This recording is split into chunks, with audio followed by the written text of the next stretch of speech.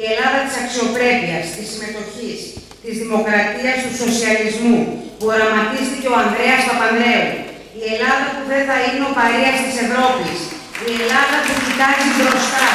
Μέσα σε κλίμα ενθουσιασμού, η Ελένη Βατσινά πραγματοποίησε την κεντρική προεκλογική της ομιλία. Κάποιοι επιχειρούν να μας εκλογήσουν σε αδιέξοδα διλήμματα.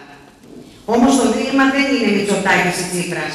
Το πραγματικό δίλημα είναι αν θέλουμε ένα κράτος έρμεως συμφερόντων και ημέτερων ή ένα κράτος που θα προτάσει το δημόσιο συμφέρον. Εκατοντάδες άνθρωποι έσπευσαν το βράδυ της Πέμπτης να ακούσουν την υποψήφια βουλευτή του Πασόκ Κινήματος Αλλαγής για τον νόμο Ηρακλείου να μιλά ξεκάθαρα για το στόχο της υποψηφιότητάς της. Ακούω να ρωτάνε με ποιον θα πάμε.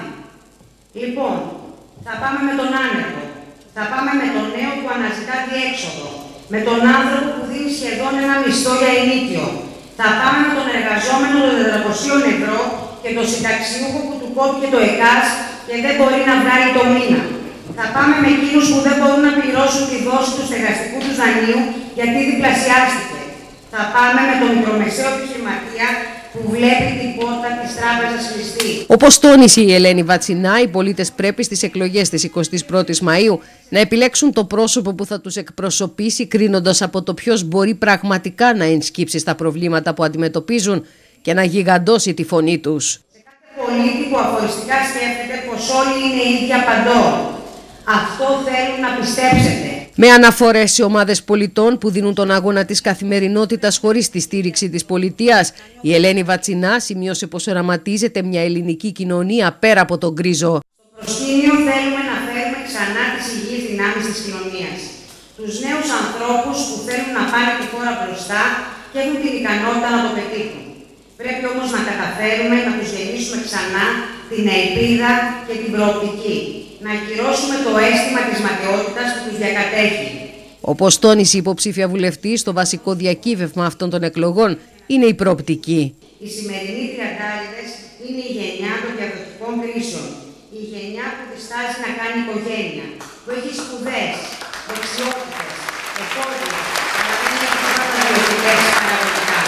Ένα άλλο μεγάλο στοίχημα είναι να καταφέρουμε με το σεβασμό από την πολιτεία προς τους αγρότες μας. Η γη μας είναι ο πλούτος μας. Ο πρωτογενής τομέας είναι βασικός πυλώνας της οικονομίας της Κρήτης. Το είδαμε στην πράξη και πρόσφατα με την πανδημία. Οι παραγωγοί έβαλαν πλάτη και συνέχισαν την παραγωγική διαδικασία, αναπτύσσοντας τη μάλιστα την ώρα που άλλοι τομείς είχαν μπει αναγκαστικά στο ψυγείο.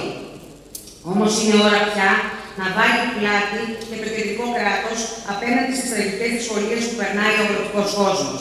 Κλείνοντας την ομιλία της, κάλεσε τους ψηφοφόρους να την επιλέξουν, κάνοντας λόγο για ένα ξεκίνημα καθαρό και χωρίς αστερίσκους από το παρελθόν. Είναι μια πολύ σημαντική βραδιά η απόψινή.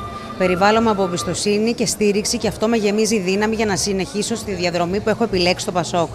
Καλό τον κόσμο να στηρίξει το Πασόκ για την αξιοπρέπειά μας. Καλό τους πολίτες να ψηφίσουν έναν άνθρωπο δυνατό, με ψυχή, με πείσμα, βγαλμένο από την πραγματική κοινωνία. Έναν άνθρωπο πάνω απ' όλα καθαρό. Καλό τους πολίτες να ψηφίσουν Ελένη Βατσινά.